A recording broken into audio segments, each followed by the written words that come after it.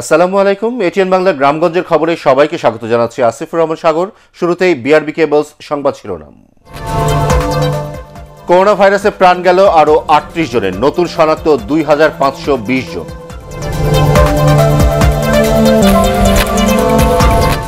বন্যার কবলে দেশের একত্রিশ জেলা, খাবার আর বিশুদ্ধ পানির সংকটে প্রায় চল্লিশ লাখ মানুষ। সহায়তার আশ্বাস ত্রাণ প্রতিমন্ত্রীর। এবং করোনা বন্যার কারণে গ্রামে নেই কোরবানির ঈদের আমেজ পশুর হাটে বিক্রি না থাকায় ক্ষতিগ্রস্ত খামারিরা। এবারে বিস্তারিত। দেশে করোনায় আরও আটত্রিশ জনে প্রাণ গেছে। এ নিয়ে মৃতের সংখ্যা দাঁড়াল দুই হাজার আটশো চুয়াত্তর। স্বাস্থ্য অধিদপ্তর জানায় চব্বিশ ঘন্টায় করোনা শনাক্ত হয়েছে দুই হাজার পাঁচশো বিশ জনের শরীরে। এ সময় ল্যাবে নমুনা কম আসছে উল্লেখ করে উপসর্গ দেখা দিলে পরীক্ষা করানোর আহ্বান জানান সংস্থার অতিরিক্ত মহাপরিচালক অধ্যাপক নাসিমা সুলতানা। আরও জানাচ্ছেন একরামুল হক সাইম। সারা দেশে বর্তমানে আশিটি ল্যাবে করোনার নমুনা পরীক্ষা হচ্ছে। স্বাস্থ্য অধিদপ্তর বলছে, আগে ল্যাবগুলোতে মানুষের চাপ সামলাতে হিমশিম খেলেও এখন পরীক্ষায় আগ্রহ কমছে। শুক্রবার নমুনা সংগ্রহের সংখ্যা দশ হাজারও ছাড়ায়নি। আগের নমুনাসহ দশ হাজার চারশো ছেচল্লিশ জনের পরীক্ষা হয়েছে।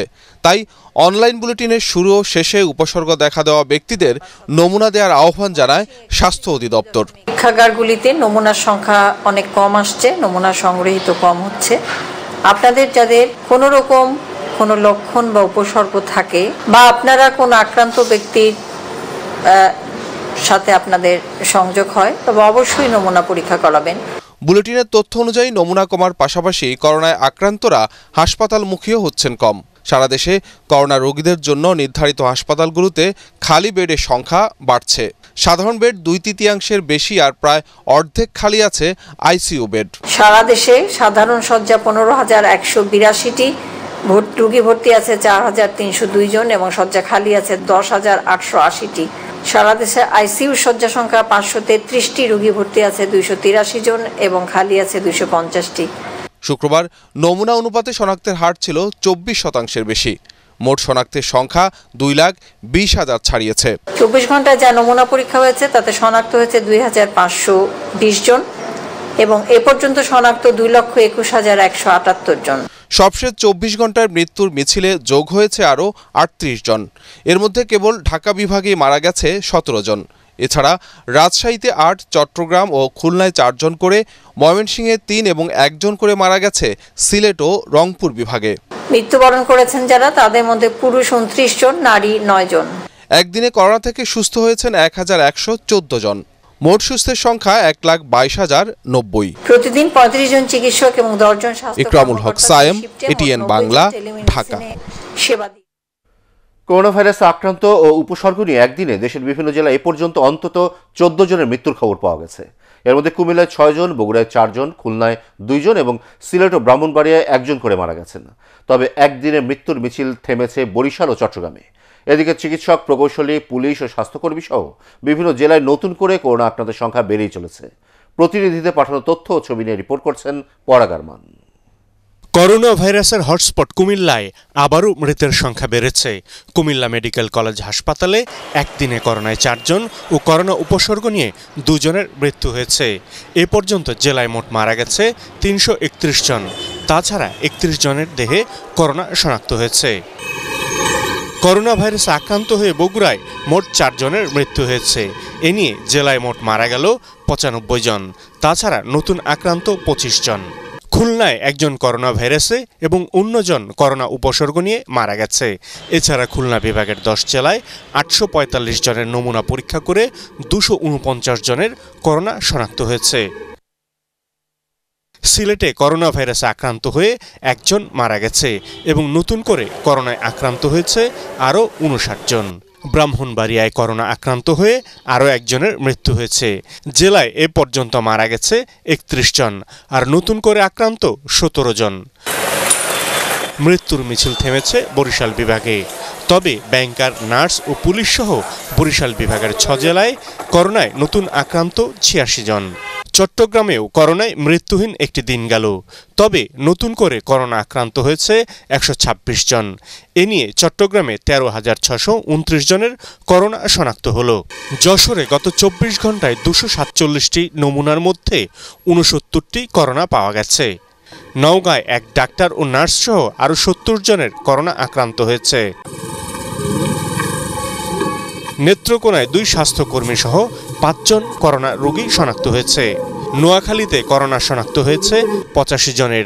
এ নিয়ে জেলায় মোট করোনা আক্রান্তের সংখ্যা দু জন। রংপুর মেডিকেল কলেজে একশো আটাশি জনের নমুনা পরীক্ষা করে তেষট্টি জনের করোনা শনাক্ত হয়। শেরপুরের নকলা উপজেলা স্বাস্থ্য কমপ্লেক্সের এক চিকিৎসকের দেহে করোনা শনাক্ত হয়েছে। পরাগামান এটিএন বাংলা। দেশের একত্রিশ জেলায় হানা দিয়েছে বন্যা। পানিবন্দী হয়ে পড়েছে প্রায় চল্লিশ লাখ মানুষ। খাবার আর বিশুদ্ধ পানির অভাবে দুর্বিষহ দিন কাটাচ্ছে বেশিরভাগ দুর্গত এলাকার মানুষ। সেই সাথে উত্তর ও মধ্যাঞ্চলের অনেক জেলায় দেখা দিয়েছে নদী ভাঙন। দুর্যোগ ব্যবস্থাপনা ও ত্রাণ প্রতিমন্ত্রী ডাক্তার এনামুর রহমান জানিয়েছেন, বন্যার্থদের পাশে আছে সরকার। পৌঁছে দেওয়া হচ্ছে সব ধরনের সহায়তা। জেলা প্রতিনিধিদের সহায়তায় বিস্তারিত জানাচ্ছেন মইনুল হাসান। বন্যায় এখন চরম দুর্ভোগে জামালপুরের মানুষ। যমুনা এবং পুরাতন ব্রহ্মপুত্র নদীর পানি বাড়ায় জেলার বন্যা পরিস্থিতির আরও অবনতি হয়েছে। সাত উপজেলার প্রায় দশ লাখ মানুষ এখন পানিবন্দী।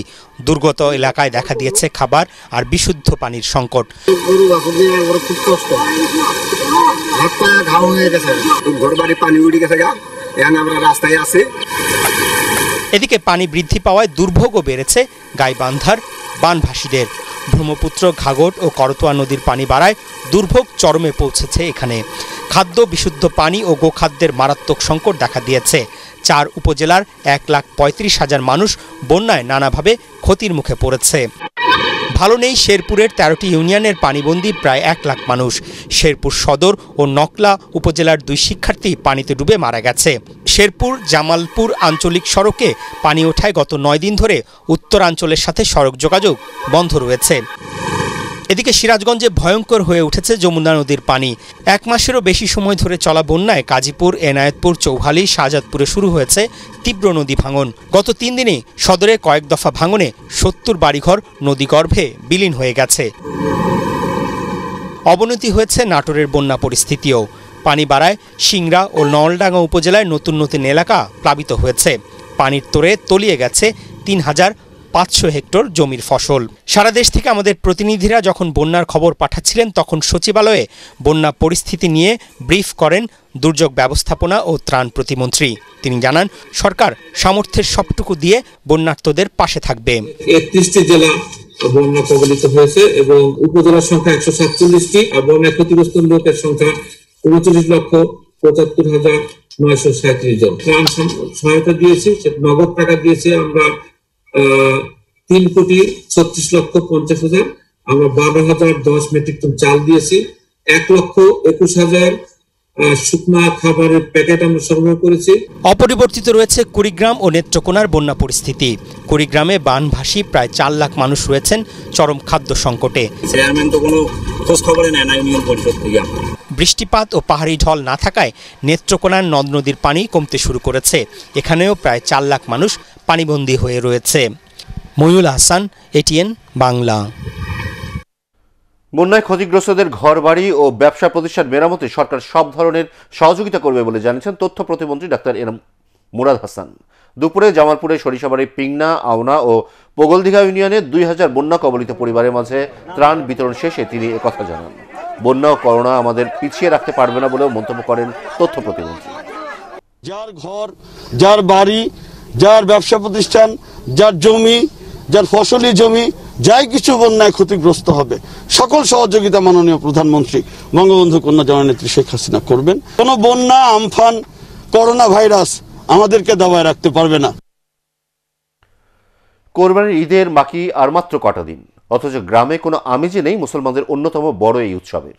মহামারী, করোনা, বন্যায় সবচেয়ে বেশি ক্ষতিগ্রস্ত খামারিরা আগের মতো ব্যাপারীর খোঁজ নেই, তাই নিজের পশু নিয়ে নিজেই যাচ্ছেন হাটে। সেখানেও ক্রেতার দেখা মেলা দুষ্কর। এমদাদুল হকের ক্যামেরায় আদ্দিন সজীবের রিপোর্ট।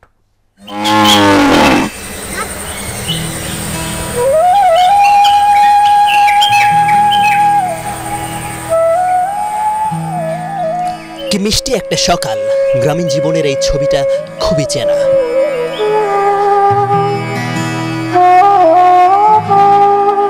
খুব সকালে রাখাল তাজুল ইসলামও বেরিয়ে পড়েছেন গরু নিয়ে ঘাস খাওয়াতে। কোরবানি ঈদে বিক্রির আশায় সারাটা বছর গরুর যত্ন করেছেন কিন্তু এখনও ব্যাপারের দেখা পাননি তাজল। ভাই কোরবানি তো চলে আসলো। আমাদের বার কিসের কোরবানি? আমাদের বাজার মন্দা ব্যাপারে আসতেছে না বিক্রি করতে পারতেছে না আর আপনার বাজার কম। এখন কীরকম বাজার কম বলো তো? অর্ধ দেই অর্ধেক দাম। এই সমস্যাটা কেন হইল? পুরোনার লেগা। আগের বছরগুলোতে ঈদ আসার অন্তত এক মাস আগে থেকেই খামারিদের গরু বেচে বিক্রি শুরু হলেও এবারের চিত্র একেবারেই আলাদা।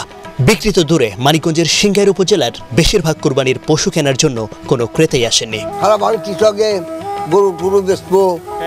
তা বাজার নাই। গরু নেয় না। নেয় না মানুষ? হ্যাঁ নেয় না?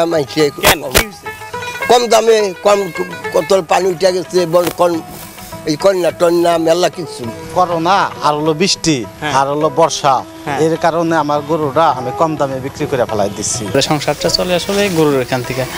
আমরা যে গরু বাচ্চা ঠিক মতন বেচতে পারতাম পালন করে তাহলে হয়তো বা দেখতে কিছু টাকা হইলে আমাদের গরু বাড়িটা ঠিক করতে পারতাম বা কিন্তু ওইরকম হইতেছে না এই বছর। গ্রামে ব্যাপারীর খোঁজ না পেয়ে এই বৃদ্ধা নিজেই চলে এসেছেন কুরবানির হাটে। কারণ এই পশু বিক্রির টাকা দিয়েই ঋণ শোধ করবেন তিনি। কিন্তু এখানেও যে প্রায় ক্রেতাশূন্য বাজার। ওই যে করোনা হয়েছে আবার ওই যে বন্যা হয়ে গেছে মানুষের কেনাই চলবো সেই ব্যবস্থা কাজ পারতেছে না। বাজার কম হয়ে গেছে। মানিকগঞ্জে বড় এই কোরবানির হাট দেখলে বোঝারই উপায় নেই যে ক্রেতা সংকট। কিন্তু বাস্তবতা হলো সারাদিনে গরু বিক্রির সংখ্যা বৃষ্টিও নয়। কে নিব গরু? আমরা তো গরু পাইলে বোকা সেজে গেছি। আমরা তো গৃহস্থ মানুষ। গরু পালি না খেত খোলা গেল একাতে করোনা গেল আবার বন্যা। কোন দিকে যাব আমরা? মানে আমাকে নিরুপায়। করোনায় বা বন্যায় কোরবানি শেষ হয়ে গেছে কাকা। গরু বছর বছর শেষ। ঈদ নাই গেই বাসা মরা অনেক সমান। করোনায় স্বাস্থ্যবিধির জন্য দেশের অন্যান্য জেলার মতো এখানেও হাট সংখ্যা কমেছে। গণমাধ্যমের কল্যাণে গ্রামের মানুষও জানে করোনার ভয়াবহতা অথচ সব জেনেও উদাসীন। গরু হাটে মাছ পড়লে কথা বলা যায় না একজনের মুখ দেখা যায় না মুখ- চোখে চোখে চোখ না রাখলে গরু বিক্রি করা যায় না। এখানে মাস্ক তো সবারই আছে এখন ওই যে আমি এক কথা একটা বললাম না, আসলে নিজের খেয়াল, তারপর আমরা চেষ্টা করতেছি। তবে করোনায় স্বাস্থ্য ঝুঁকির চেয়ে লোকসান নিয়ে বেশি চিন্তিত তারা। গ্রামের মানুষের কাছে কুরবানি আসে বড় আশা নিয়ে। তৈরি করে নতুন সম্ভাবনা। কিন্তু এবারের কুরবানিতে করোনার বড়সায় তারা একটা বড় রকমের সমস্যার মধ্যে পড়েছে। কোরবানির হাটগুলোতে মানুষ আছে, কিন্তু এই মানুষগুলো যারা, তারা সবাই বিক্রেতা কিংবা ব্যাপারী। তারা বলছেন, যদি এভাবেই চলতে থাকে আর বেচা বিক্রি না হয়, তাহলে তারা বড় রকমের একটা ক্ষতির মুখে পড়বে। আব্দিন সজীব এটিএন বাংলা সিংগাই মানিকগঞ্জ কোরবানির ঈদকে ঘিরে জমতে শুরু করেছে নরসিংদীর পশুর হাটগুলো। পুরো দামে এখনও বেচাকেনা শুরু না হলেও রাজধানী ঢাকা সহ দেশের বিভিন্ন স্থান থেকে আসা পাইকারি ক্রেতা বিক্রেতার পাশাপাশি স্থানীয়দের সমাগম হচ্ছে পশুর বড় হাট জেলার শিবপুরের কুটিয়া বাজারে। অভিযোগ রয়েছে, করোনা সংক্রমণ এড়াতে স্থানীয় প্রশাসন স্বাস্থ্যবিধি মেনে হাটগুলোতে কেনা কেনাবেচার নির্দেশনা দিলেও কোনো হাটেই তা মানা হচ্ছে না। তবে স্বাস্থ্যবিধির ব্যাপারে তদারকি অব্যাহত রয়েছে বলে জানিয়েছেন জেলা প্রশাসক সৈয়দা ফারহানা কাউনাই পশু কেনাবেচায় অনলাইন প্ল্যাটফর্ম চালু করা হচ্ছে বলেও জানান তিনি। কোরবানির হাটকে ঘিরে আপনাদের মনে যে শঙ্কাটা রয়েছে, যে সংক্রমণ বেড়ে যেতে পারে, স্বাস্থ্যবিধিগুলো বা পদক্ষেপগুলো আমাদেরকে আবশ্যিকভাবে মেনে চলতে হবে। সচেতনতা করার লক্ষ্যে কিন্তু আমরা সার্বক্ষণিকভাবে বিভিন্নভাবে কাজ করে যাচ্ছি।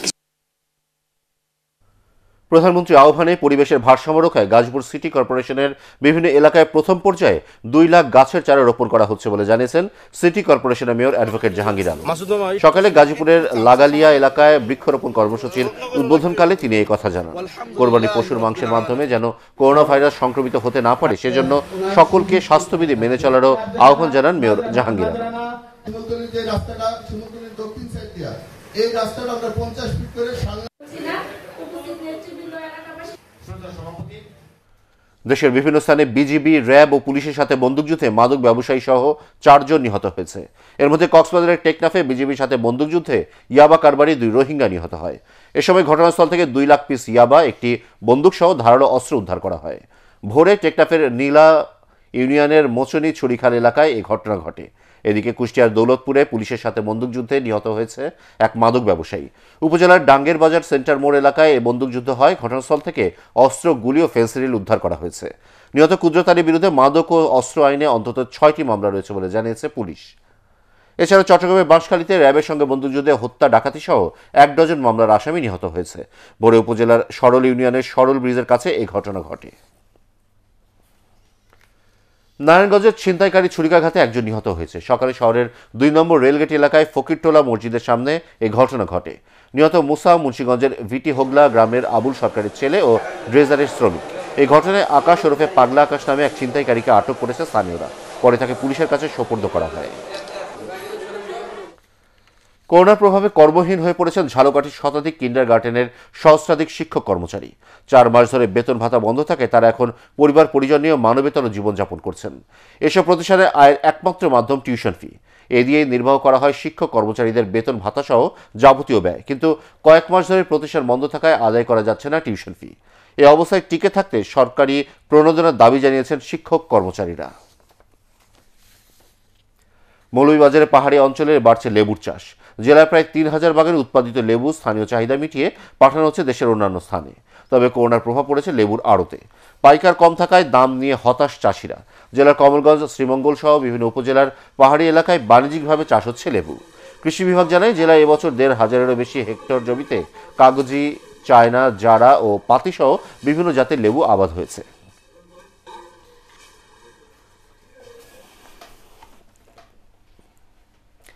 নাটোরের ছাত্রদলকে পুনর্গঠন করে সাংগঠনিকভাবে শক্তিশালী করার লক্ষ্যে মত বিনিময় সভা অনুষ্ঠিত হয়েছে। দুপুরে শহরের আলাইপুর দলীয় কার্যালয়ে এই সভা অনুষ্ঠিত হয়। জেলা ছাত্রদল সভাপতি কামরুল ইসলামের সভাপতিত্বে এতে সংগঠনের সকল উপজেলা ও পৌর ইউনিটে নতুন কমিটি গঠনের সিদ্ধান্ত নেওয়া হয়। এ সময় বন্যা দুর্গতদের সহায়তায় একটি ইউনিট গঠনেরও সিদ্ধান্ত নেন নেতাকর্মীরা।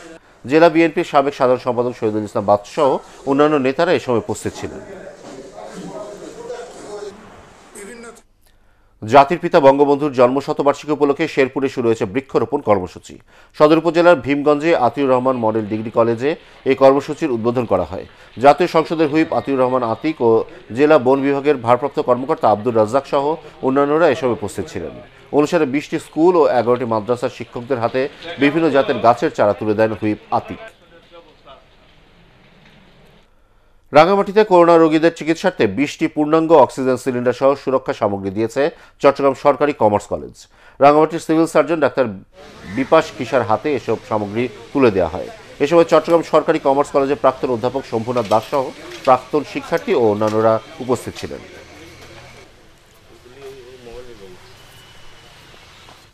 পবিত্র ঈদুল আজহা শারদীয় দুর্গাপূজা উপলক্ষে বরিশালের গৌর নদীতে সুবিধা বঞ্চিত এগারোশো পরিবারের মাঝে বস্ত্র বিতরণ করেছেন আওয়ামী লীগের উপকমিটির সাবেক সহ সাধারণ সম্পাদক অ্যাডভোকেট বলরাম পোদ্দার। সকালে নবদ্বীপ পোদ্দার ফাউন্ডেশনের উদ্যোগে উপজেলার খাঞ্জাপুর ইউনিয়নে গরিব ও অসহায়দের মধ্যে এসব বস্ত্র বিতরণ করা হয়। স্থানীয় আওয়ামী লীগ নেতা কর্মীরা এ সময় উপস্থিত ছিলেন। পরবর্তী সংবাদ দেখার আমন্ত্রণ জানিয়ে এখনকার মতো শেষ করছি। সবাই ঘরে থাকুন, নিরাপদে থাকুন। এটিএন বাংলা সংবাদ ইউটিউবে দেখতে ব্রাউজ করুন, YouTube slash ATN Bangla news